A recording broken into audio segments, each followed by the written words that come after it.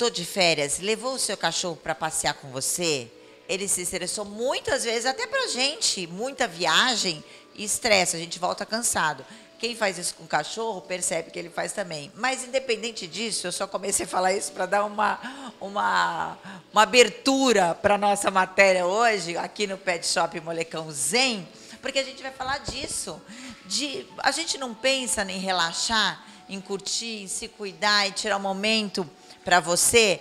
Procura um spa, procura lugares de massagem. E para o nosso cãozinho, será que funciona da mesma maneira? Às vezes a gente vê mesmo, ah, eu acho que ele está estressado, ou porque fica muito sozinho, né, Margarete? Ou porque foi muito agitado, ou porque teve visita em casa.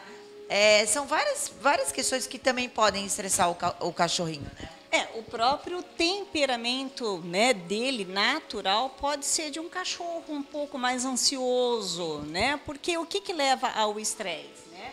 É a ansiedade da separação com o dono, né? O que que aconteceu, né? No histórico dele. Então, aqui esse espaço, né? Ele tem várias intenções, digamos é, assim. Inclusive eu comecei falando, né?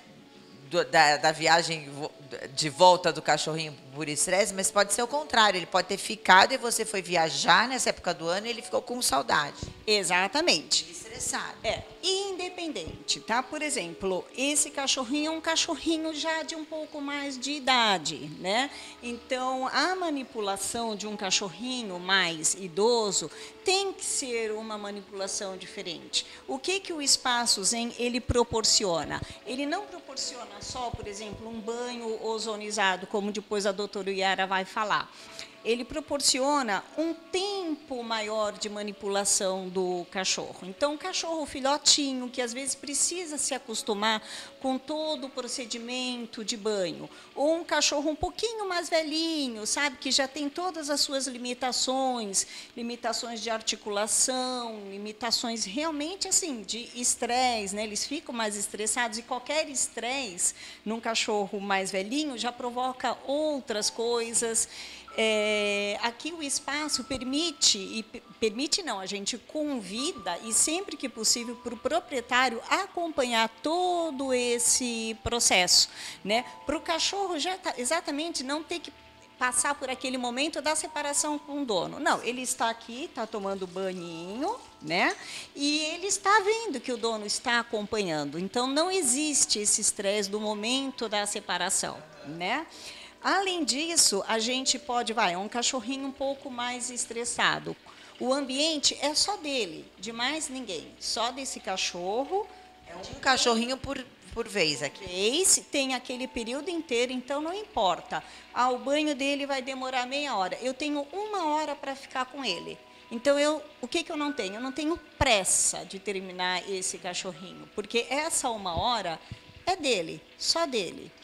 E o que mais? A gente pode preparar esse ambiente. Então, é um cachorrinho que é um pouquinho mais estressado, a gente prepara o ambiente com um produto da Softcare chamado Stress Away, que justamente essa aromaterapia proporciona uma tranquilidade. Tem noção do cheirinho que está aqui, até eu tô assim, ó.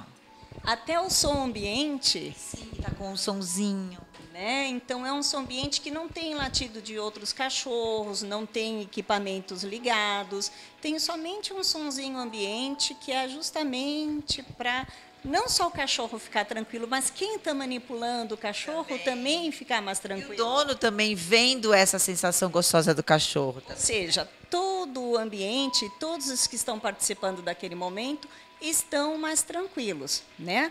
Os profissionais que trabalham aqui no Zen, no banho Zen. Então, até mesmo o toque, como eles têm o curso da massoterapia, então até o toque de, é, do banho, né, o manipular o animal, ajuda ou a relaxar ou a estimular. A massoterapia ela tem essas duas uh, possibilidades. Né? Então, a maneira como você mexe no cachorro, você pode tanto induzir a um relaxamento como a estimular, mandar energia para eles.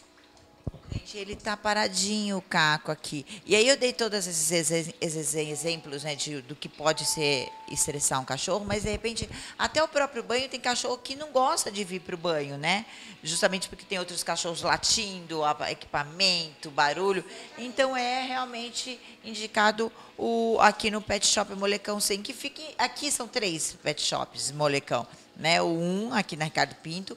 O dois, que também, além de ter os banhos veterinários, ainda cuida das aves e dos peixes.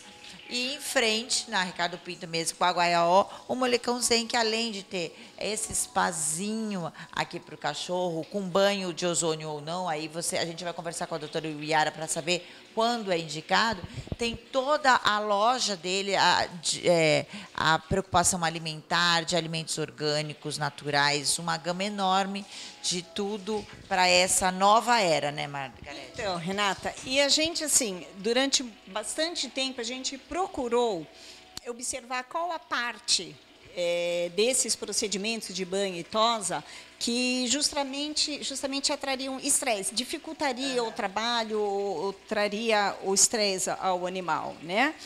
E assim, dizer que o cachorro não gosta de banho, você pode até falar isso de gato, se bem que tem gato que gosta de banho, mas o cachorro não gostar do banho não é bem assim.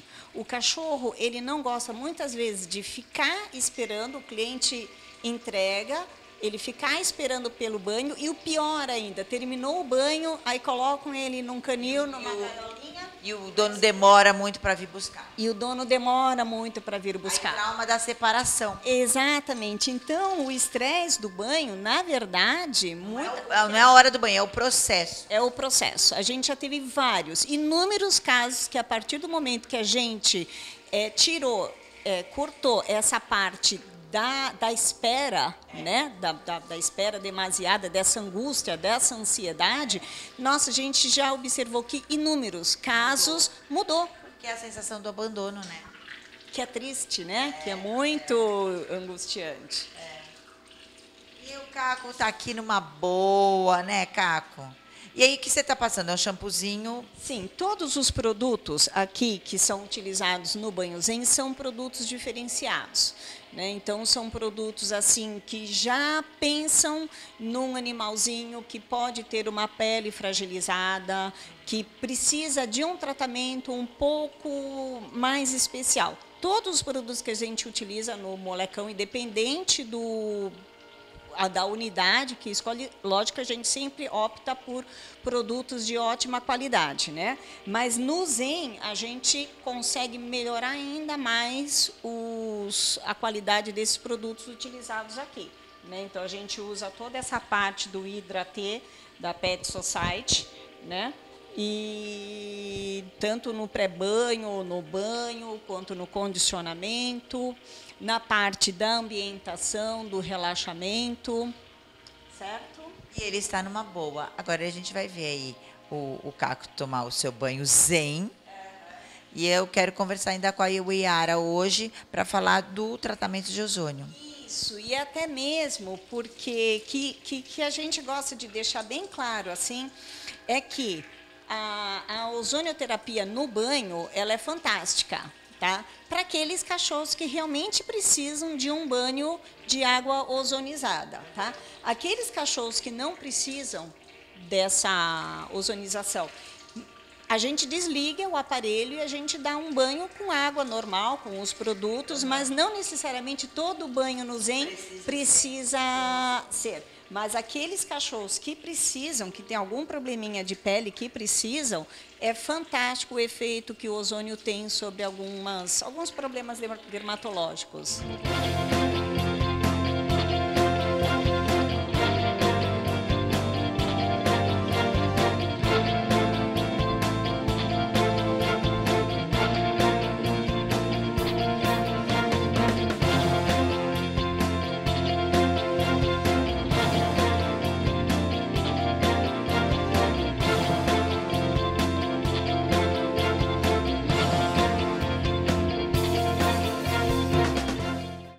Pronto, o Caco já tomou o seu banhinho, agora ele está sendo secado com tranquilidade. Como é aqui a intenção toda do Molecão Zen. E a doutora Uiara chegou para conversar com a gente sobre a ozonoterapia e o banho de ozônio. Como a Margarete falou, tem, não, não precisa necessariamente todos os banhos aqui do Molecão Zen ser feitos com, ozônio, com um banho de ozônio. Pode ser só um banho relaxante normal mas tem muitos casos que são realmente indicados e além disso ele tem todo um benefício de, pre, de prevenções, né? Tem, tem sim, Renata. É, não, não, é, não é uma exigência realmente ter a presença do ozônio, porém uh, o que acontece? A água quando passa pelo ozônio, ela tem uma qualidade muito melhor, ela está muito mais tratada do que somente com a questão do cloro. Justamente esse é um grande benefício do ozônio, que é a ação bactericida altíssima, viricida, bactericida, então ele tem uma higiene muito maior dessa água. O que isso traz de benefício para um animal? Um animal atópico, um animal com uma dermatite, seja ela qual for, a atopia mais comum, que é aquela lesão, enfim, que o animal tem alergia de tudo, mas, de qualquer forma, é, de alguma forma, na verdade, ela acaba tendo um benefício, porque essa pele, é, essa água, ela está muito mais limpa e vai cair de melhor forma naquela pele junto com o produto que está sendo utilizado. É, e aí a gente tem que ter um cuidado maior que nessa secagem, é, esse animal não pode ser com uma água, um secador tão quente. Né? Então tem que ser sempre ali no médio, justamente para tentar manter ao máximo os benefícios desse, dessa água ozonizada.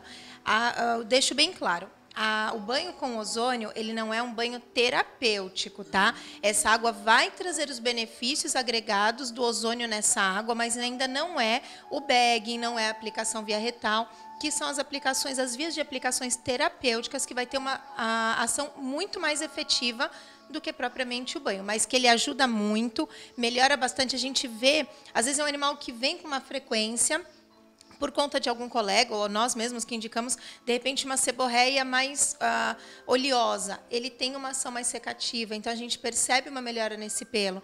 Um animal que toma um banho terapêutico, por exemplo, para fungo, uma lesão por fungo, ele tem ação fungicida, então é um animal que vai recuperar muito mais rápido. E até as próprias tosadoras, elas falam, nossa, doutora, melhorou muito, evoluiu bastante, justamente porque ele agrega um benefício a mais dentro do tratamento tradicional que a gente tem de, desse animal, né? É, e hoje, como a gente falou, não é, a, não é só a pauta ser o é, calhou do caco ser um animal idoso, tem 11 anos, é, então esses banhos geralmente para o idoso, eles são mais gostosos, mais, mais apropriados. E, e, e, o banho de ozônio também, porque muitas vezes ele já apresenta algum probleminha de lesão na pele. Tem, tem uma pele mais seca, às vezes é animal tem, exatamente, tem uma verruguinha ou outra, tem uma pústula, então isso vai ajudar a secar mais rápido. É, principalmente idoso com muitas verrugas, tem que tomar bastante cuidado na tosa. Então, se é uma verruga onde de repente o animal coça, não que ela propriamente sangre, mas que o animal coça, vai gerar uma cicatrização mais rápida.